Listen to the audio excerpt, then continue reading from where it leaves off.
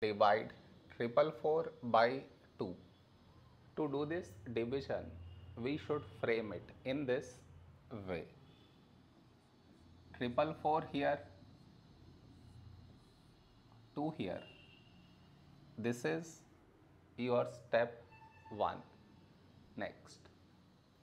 Here we have 4 here 2 when do we get 4 in 2 table. 2 2's 4 now we should subtract.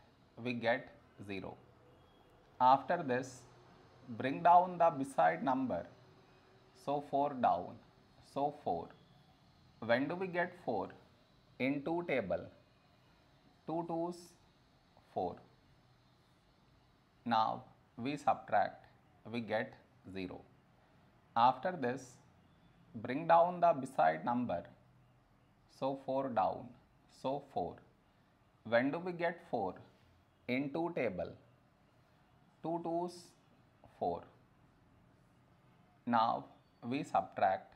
We get 0 no more numbers to bring it down. So we stop here. This is our remainder.